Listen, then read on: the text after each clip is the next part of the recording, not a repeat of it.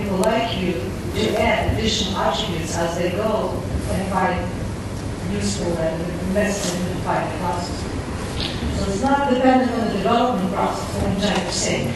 Of course, we can do it for you, but there's no code anymore. Nobody needs to go and write any code to create new attributes. It's configuration. Anybody can go in the system and do it. Just a comment from my side, I'd like to propose that we break one of the afternoon sessions tomorrow is a parallel track where we actually have a, a hot usability group with a bunch of us sitting around and really working through the system itself.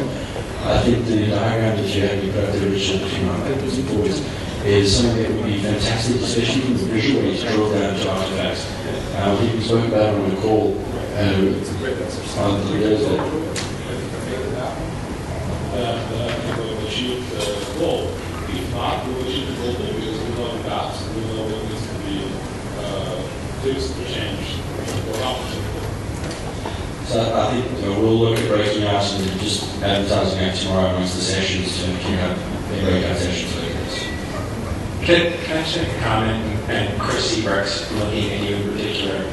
You know, we got this RHEA project of which you're kind of leading up the, the implementation team, and we've created all of these artifacts. Some of on my laptop, probably a greater set sits on your laptop. There's there's an internal project curation strategy that we've not really talked about yet. And, you know, this model presumes, for example, that there's an independent repository that is able to link to. They talked about making one repository available for those who don't have one. I think we as a project, the RHEA project, needs to make decision in terms of where we want those artifacts to be. Do we want, you know, someone like me to upload them? Do you upload them? Does it happen to the subversion repository that you talked about earlier? And make some project-based decisions about the curation. Then I think um, there won't, I mean, I think there's some value in spending some time thinking about that up front to make sure that all of this stuff, from number one, gets properly kind of put it and there's a process for it. Does that make sense? Because we start running into issues of like you and I have the same artifact and we upload them and how do we keep track of that? There's probably some ways that we can prevent that kind of stuff from happening, like, you know, CRCs and stuff like this. But, you know, anyways, I, mean, I think the point is there's some internal project related stuff I think we need to be thoughtful as well. We haven't really talked about it. So. I don't think we should allow machine to decide whether we, you allow to asset yet. It should be a human decision, but it can be addressed from a process standpoint at the moment, so you move the advisory to search for before you to see something that is already. Yeah. But the project, you know, Rwanda project needs to decide, you know, Like, for example, Richard needs to decide, you know, we've got the subversion repository, does that become the repository for all times for Rwanda's project, and do they own that repository, right? If that's the case, and that's what we link off of from this, right, so that we can make a contract that's gonna always be there. And if we don't feel comfortable with that, do we use the repository that they're thinking about putting up? These are some of the decisions that we should get to sooner than later, and that will allow other things to fall in place. Because those are necessary decisions, so keep in mind that those are not once and for all decisions you have to make. You can keep your repository or change it to something else, and you can make that change as many times as necessary. It is our goal to help you facilitate the changes so you can, you don't lose uh, your assets in the process. But, but we don't expect that people will put an asset in the repository and keep it there forever. You know, the, the version will change. So we need to have an, an ability for somebody to say, well, now it's somewhere else. Chris?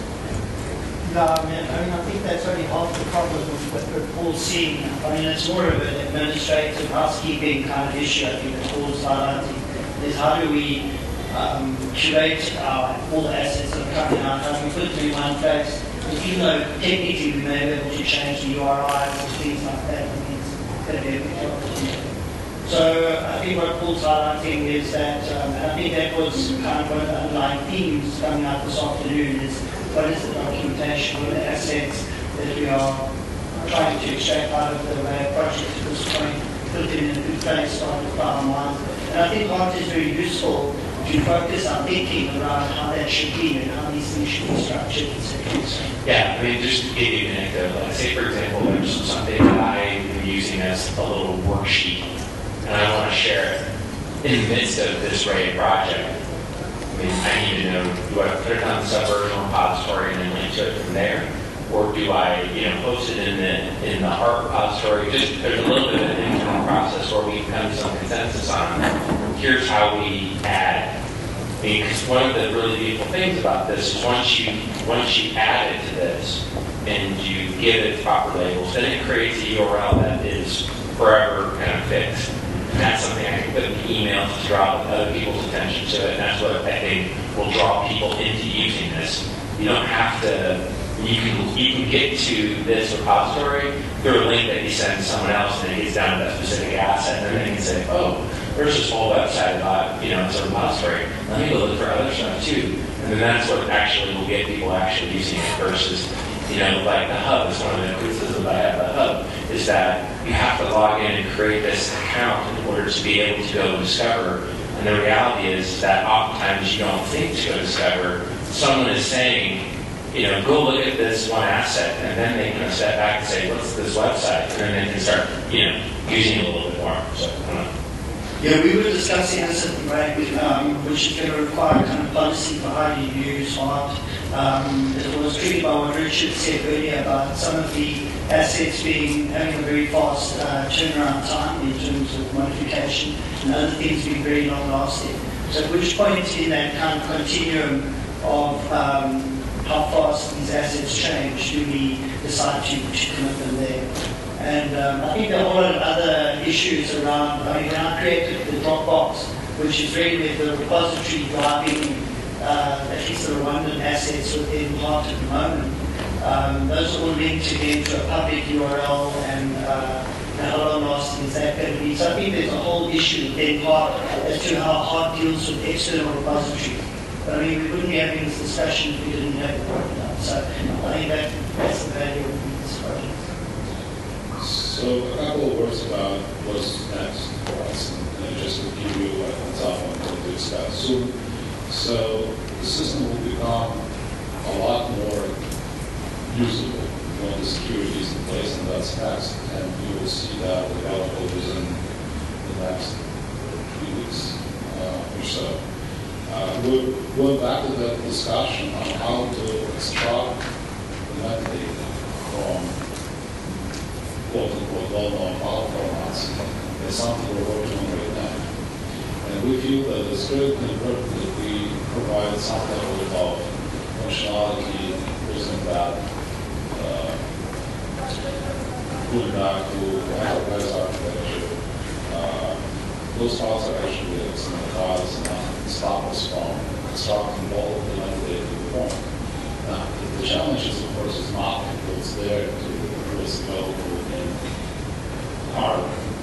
And if not, uh, if not everything is not, then whether we'll allow automatic metadata propagation creation or not, that's something that's a completely separate discussion. Because the minute you will bring on the uh, machine processing, you can quickly put good data into know, very quickly. And so then uh, curator role to become available. So we need to have a timeline between allowing some level of abstraction of the which we will have, to allow a complete model creation from. And that's something technically possible, but you know, we need to discuss as a key, but it's feasible.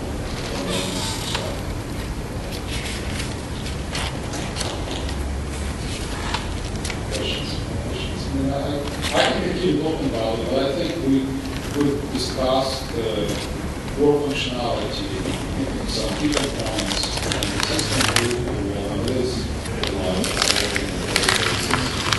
So, are there any other questions?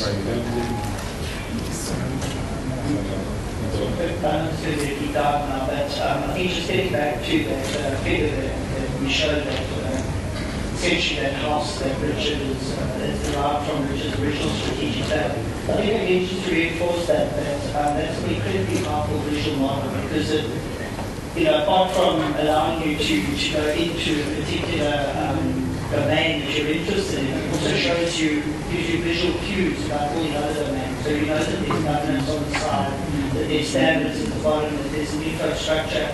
So it contextualizes the whole thing and um, people probably have to be able to uh, get digest the whole model. But um, all those vertical, the longer vertical bars, all the kind of domains in healthcare. So if you're looking for logistics and supply chain information, you can literally click on that and you can go in. So I think it's really something to think about that as, one kind of entrance into the system, uh, visual navigation. Looking forward to a deep dive discussion on this and see how we can uh, either, if it's, if it defends itself to the current structure, and if not, then how we can improve the current structure so we can lend itself better.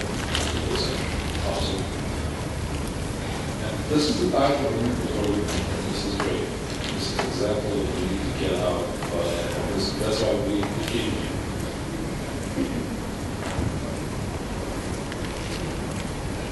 And on that note, are there other visual metaphors that add usability?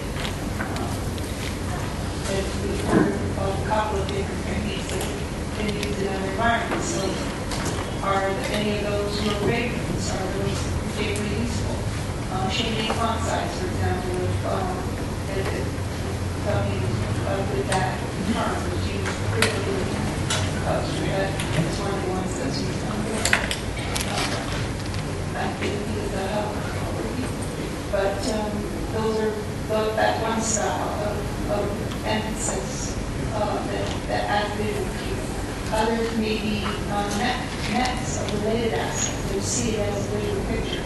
So that you can click on your nodes and arts um, that would then pull out information about that. It's a different way of looking at it. These are more uh, intuitive to some people who like to things less of terms and more as a visual picture than the overall content, what you. Yeah, I mean, I, I think this is very and, and, you know, the other one for me that jumps out would be the, the HISA framework, so the few points in the HISA standard, um, or RMODP, whatever you want to adopt.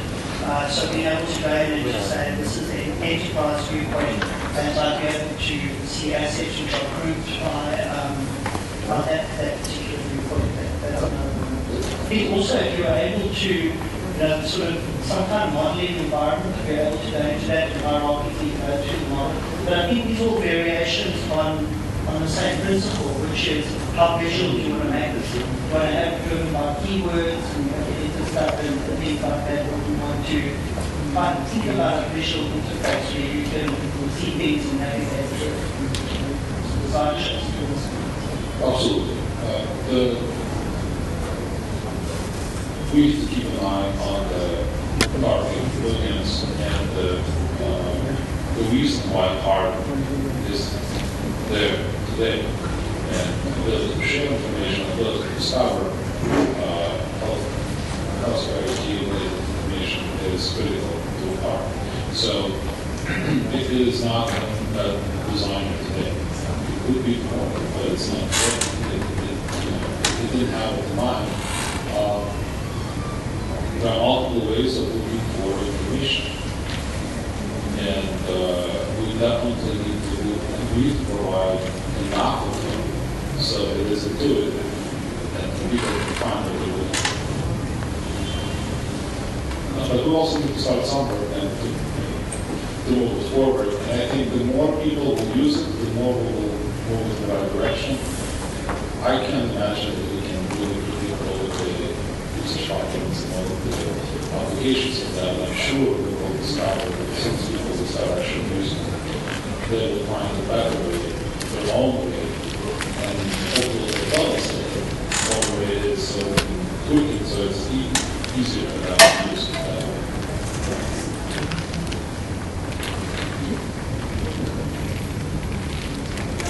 What else?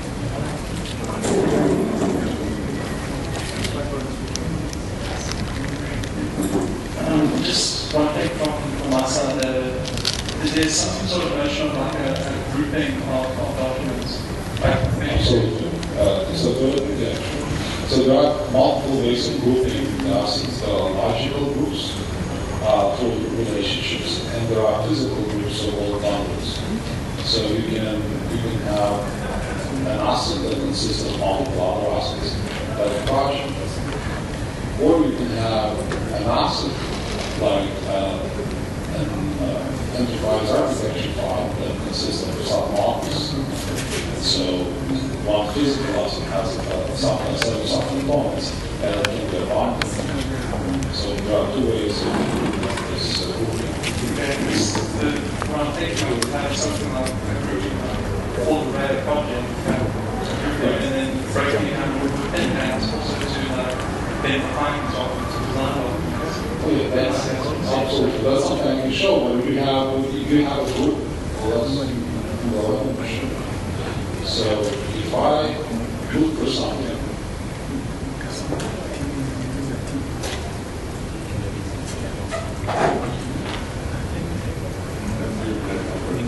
so, um, if I look for, uh, Korea, for example, right, so we can provide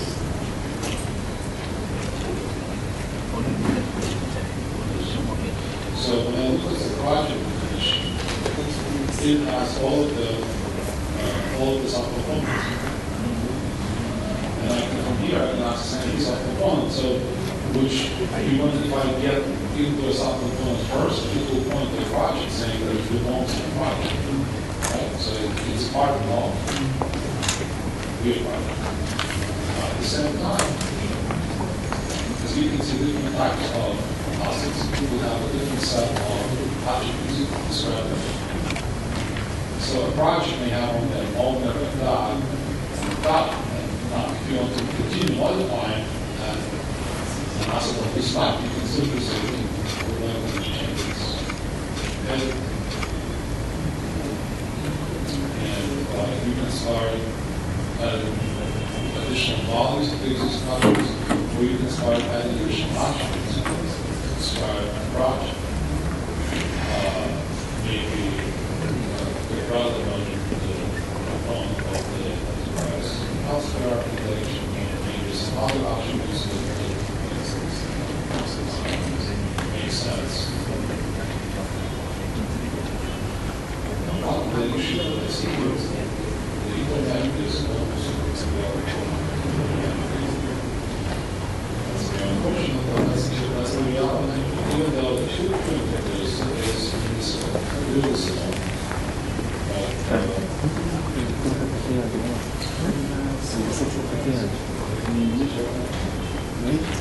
uh, all right, so from here, you can continue adding new attributes. Um, with additional tags or additional, uh, whatever you want to find. Uh, From the list of available attributes and coverage. And so, just, so when you click on it, it will add to.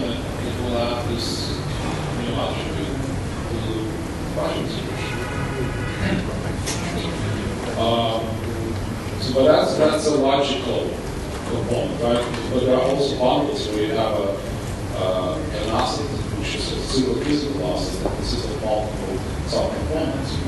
So you can also describe them as a bundle.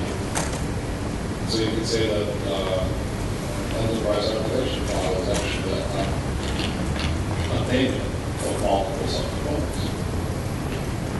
Now, and eventually, uh, hopefully soon, we'll be able to extract that information from the file itself automatically when you're adding that asset. So we will populate it for you. You don't have to specify all the subcomponents that are there. And at that level, we feel comfortable to populate and then just them from well-known platform outside of Word or Excel or or the EA document. One of the challenges we have, and uh, hopefully you'll be able to give us some feedback at it, but it's going to also be something that think others can start too. is There's an awful lot. This is something that has to be useful to a number of you are deep dive. Uh, On the other hand, there's some of you who have different roles or level of, uh, of uh, where you are, how long you've been involved in the project, and, and what you're doing, where it's at a singular level. And this has to be something that you're not overwhelmed when you go into it, so that it goes different views we talked about. It has to meet the user where they are and what they need. And it has to get be extensible enough that it can accommodate you as you grow and as you uh, uh, have more and more needs. And those are uh, usability, the, the different views that uh, Cora showed at the beginning, it's a clinician, those are goals, there may be other features or, you know, like data software, there's a simple version and there's the expert version. That those are the things interacting with you that we need to know. So if you're looking at this saying, oh, I'm lost now, that, we need to meet with you. It isn't the pull away. We need to understand that because we have to know what other um, variables, what other uh, ways of making it simpler uh, we might have. And that's very important feedback. On the other hand, if you think, you know, this is what I want, I want to do, I don't want to have it pulled down every time I want to check boxes, you know, whatever it is, we, we need to listen. And we're going to be having that feedback with our, with our group, and Chris, Carl, Paul, and Ed, and others who are going to kind of see that so that we can begin to take that, that feedback. And you may you know, come up with the thing that we have not even thought of, a different way of thinking. Uh, certainly my experience, and I think those of us who've been in this law, is anybody can make a contribution. This is not about how well you know the details in there. Just the, the feedback that you give can be very Absolutely. The only way we know how to encourage your feedback is to listen and to do what you ask for. And that's what we're doing with Paul, and that's what we're going to do with every single one of you. We will listen, and we will make changes, and we will make changes too. And if we're wrong, we'll make changes again. But the only way we can make those changes is if you tell us. How any, any other constructive criticism is greatly appreciated. I do, I do think, just real quick, I don't need a microphone, um, getting, okay, get- getting that repository that, um, so not presuming that someone has a link to a file on a network somewhere, I think getting that up and going would be useful sooner than later, given the audiences that we're serving. I think it's unusual for a project to have a separate repository for its artifacts. And so I think um, getting that earlier in the trajectory of what you make available, I think is really important. I would disagree. I think having something as simple as a uh, project-driven uh, Dropbox and some version uh, instance somewhere sitting on our server would be sufficient now uh, to start with. Um, And then later on, you know, we'll see if all the integrations are available. It, it- it worded in a way where it says something to the effect of either, you know, upload your, your artifact or point to your artifact. That's exactly how it's designed. Yeah. Absolutely, it's just a matter of priority. What you're asking for is in the design today. Absolutely, uh, I I agree with you. Just make that activation energy so friggin' low that if someone just wants to come in and write a couple of sentences and upload a file, then bam, then you've done the work of making it available on their behalf, which is helpful to them. And they have that link they can immediately then put it in an email. I it's going to be hugely useful sharing. doubt, no. And, and we can make it as simple as possible. There will be an upload button, there will be, uh, or you can still put your URI uh, into the system. Either way it will work.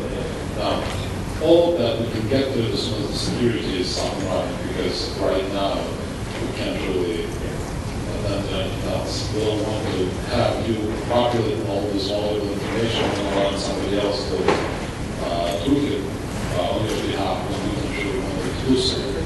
So security is obviously the higher uh, order priority. And then we'll get to those things the. I think Paul's absolutely right. We, we really need to think about the repository aspect of especially for low resource settings, I mean, storage is, is relatively cheap these days. And we realize something you need to look into as a kind of decentralized repository to Malta. I mean, there are going to be issues around country ownership of assets, which we might have to overcome. And I think thinking through that's going to be That's something that should be a problem. The access control list that will have to be placed, the repository that will be leveraged will be uh, one of the standard repositories for mountain a wheel and bicycle, right? So if you have a subversion in place, you can really make it uh, secure for people. So you design, you delegate uh, the roles and responsibilities for every country organization will be able to delegate their own security systems uh, configurations. And so they will control their own uh, set of licenses the way they want to. And that's not. I could even imagine an organic um, kind of organization where a country says, well, all of you that have been working on this project, go upload your assets using this tag. And then, then when the ministry or whatever group it is wants to pull all of those into its own repository, then they actually use yours as a way of getting themselves organized. Then you can put it in a subversion repository, then it can relabel to be there and go right. And there's all kinds of opportunity that how people can get organized. Absolutely. Just the last one, is there any way you want to receive feedback from people if they think of things in the course of the meeting? Uh, The answer is yes. And uh, the format is less important than the actual action. So please provide your feedback if you want to, uh, in an informal or informal way, if you want to talk to us, please do so. Uh, That's why we're here. We're here to uh, the entire conference. Uh, We will have this, we will have this uh, a deeper dive session. Uh, We would like to get into that set of discussions. Um, Email, phone I'm going to calls. stack of my cards here at the table, so everybody can grab it and send me an email. If you have to tracking tools, we are accepting emails. We have a formal process of tracking requirements and and requests, but it shouldn't be formal for you guys, so uh, if you would like to follow the same process, you're welcome, but, you know, you're busy with whatever you're doing right now, we don't want to impose yet another process on of you, so just whatever way of providing feedback you find reasonable for you, we'll take it. Perhaps we can write Anne's email on the board. I will, it. There was another question, I really, I, I can see you trying to.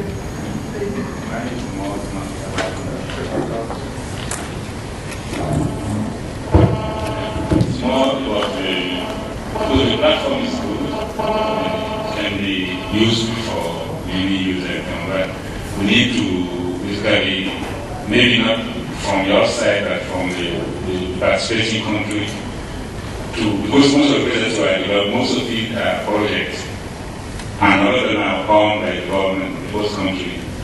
So in, in, we need to at the country to find a way to clearly provide guidance to who should be uploading documents to on the platform, at which level of development the document should be uploaded, and who at the is controlling these uploads. Otherwise, always going to be people are not working individually. It's not individual project. It's government project definitely.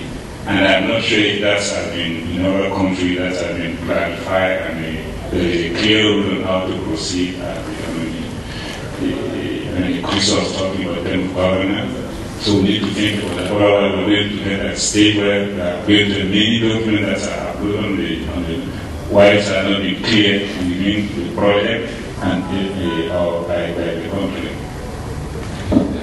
Very good point, and uh, who you will delegate to have this set of uh, authority is entirely up to you. The system will allow you to delegate a certain group of people and assign those the, the capabilities to do so. But of course, it's an internal policy decision rather than knowledge decision. But rest assured that the capability for you to do so from a technology standpoint exists.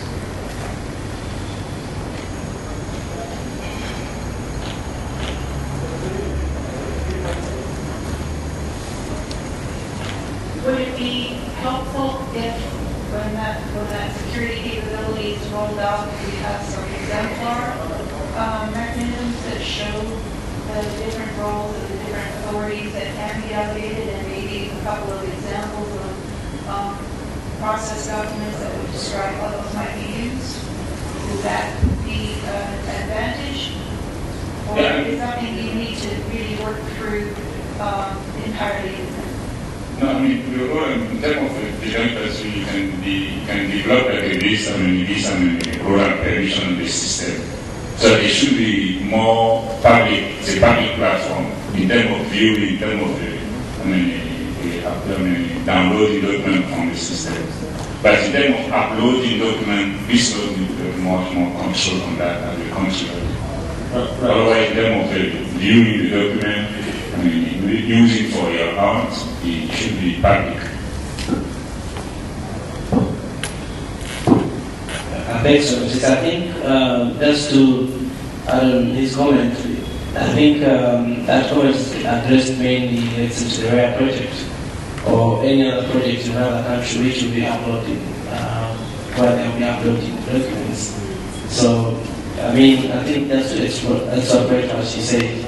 If you use the RHEA project as an example, who has the authority to upload these documents? Is it uh, anybody within the project? Is it uh, some of the of Health has to sign up and okay, these documents can be uploaded by so and.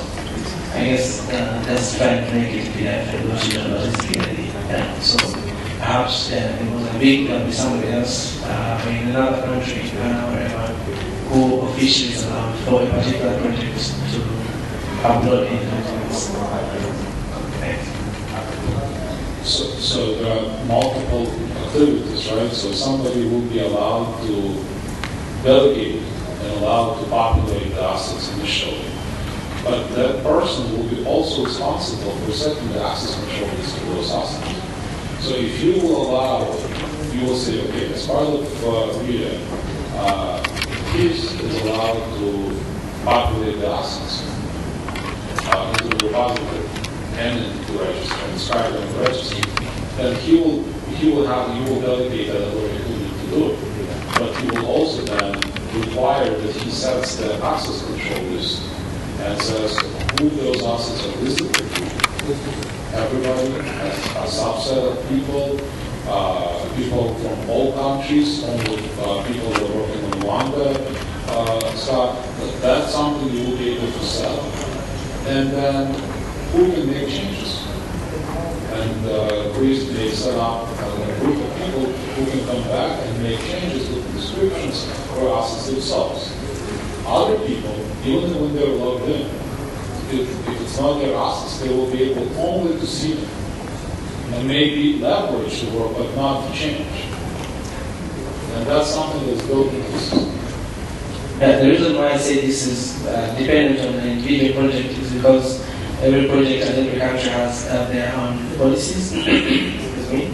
Uh, like we just adopted um, a data sharing policy in Ministry of Health. So such kind of uploads of documents and so on have to respect that data sharing policy. So I'm sure that that uh, it varies from country to country, from project to project.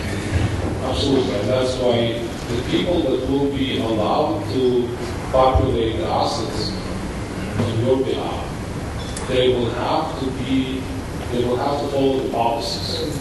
And then they will have to set up the access rights that are also consistent with your policies. Now, people from different countries, they will, they will their own assets. And the way they will do it, the process they will uh, use, it will be related to their following policies, right? But absolutely, it's all, it all comes down, is where people and process and, and technology needs to get. So the technology should have the means, provide the map of the functionality so you can um, embrace the policy and enforce it. But then it comes, comes down to people that will follow the process correctly and use the technology to enforce the policy.